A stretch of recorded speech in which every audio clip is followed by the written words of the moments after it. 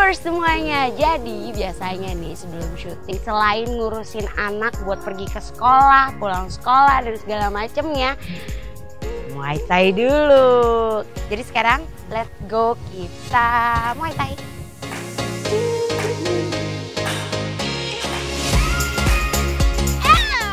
Oke viewers, itu tadi baru pemanasan ya.